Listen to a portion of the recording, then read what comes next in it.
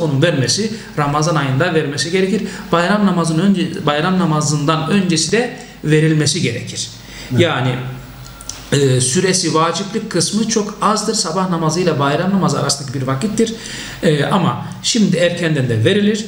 E, bayram na- namazından sonra da verilir ancak e, süresi vacipli kısmı, zorunlu kısmı olması gereken kısım o dar bir vakittir. Dolayısıyla en güzeli şu günlerde vatandaşlarımızın bir an önce işte e, bayrama e, girilecek. Onların ihtiyaçları İhtiyaçların olması yoğunlaştığı dönem. dönemde dolayısıyla sadakayı fıtırları vermemiz gerekir. Ee, şöyle sadakayı fıtrı kimlere verilmez dersek oradan daha kolay. Öncelikle sadakayı fıtır ihtiyaç sahiplerine verilir.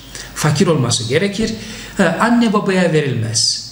Yani e, o zaman biz usul diyoruz. Usule.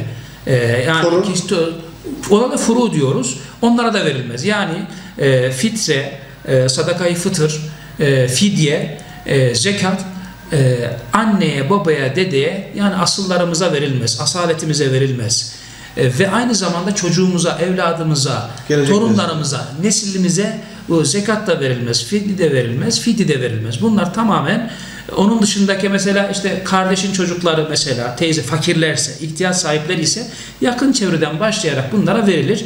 Dolayısıyla zekat, fitre, fidye Evet. fakirin ihtiyacın, gurabanın hakkıdır. Evet hocam. Ee, şimdi iş- işin aslında Ramazan ayının tam ort, geçmişken son bölümüne yani üçüncü Son. bölümüne geçmişken e, işin göbeğinden girdik işe aslında e, çok şey var konuşa ama e, sadaka fitir e, ve e, şey fidyeyi konuştuk. Şimdi ben en son olarak çok kısa bir şekilde e, vatandaşlarımızın, Yanıklı hemşehrilerimizin en çok e, sizleri aradıkları, e, sordukları, e, bilgi almak istedikleri konulardan sadaka fitiri konuştuk. Haricinde e, neler vardır? Onları da E, alalım. Bu bölümü bitirelim. İnşallah devam edeceğiz. Genelde e, vatandaşlarımızın, halkımızın özellikle e, mukabele konusunda e, hocam işte ben televizyondan dinliyorum e, veya işte e, e, bazen hocalarımız WhatsApp'tan e, cüzleri gönderiyorlar e, kendi cemaat gruplarımıza. E, bunlar dinle ben hatim sevabı alır mıyım diye. Evet hatim sevabı dinleyerek alınır.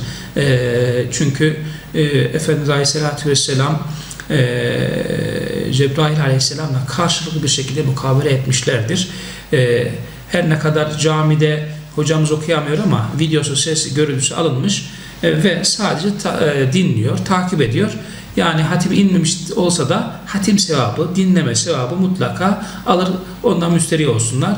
Diğer bir hususta hocam e, zekat konusunda e, Fatih Bey, hocam şöyle şu kadar ürünüm var, şu kadar param var, şu kadar altınım var, ne kadar zekat vereceğim e, şeklinde borcum var, bunu düşeceğim mi?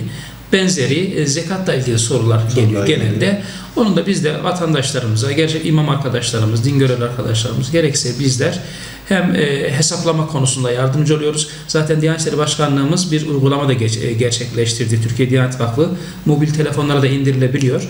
Orada çok rahatlıkla e, üzerinizde bulunan malları veya işte e, gayrimenkulleri veya nakitleri ve giriyorsunuz. Hesaplamasını kendi otomatik yapıyor. yapıyor. Vatandaşlarımız o konudan memnunlar. Bazen bu sorular da geliyor. Evet hocam. Ee, verdiğiniz bilgiler için çok teşekkür ediyoruz. Ben de sizlere teşekkür Ee, ediyorum bu vesileyle. İnşallah bu tür sohbetlerimiz, Ramazan sohbetlerimiz İnşallah. devam edecek. İftar sohbetlerimiz İnşallah, olacak inşallah. inşallah. Ee, tekrar yeni bir programda görüşmek üzere. Hoşçakalın. Çok teşekkür ederim. Ben de size teşekkür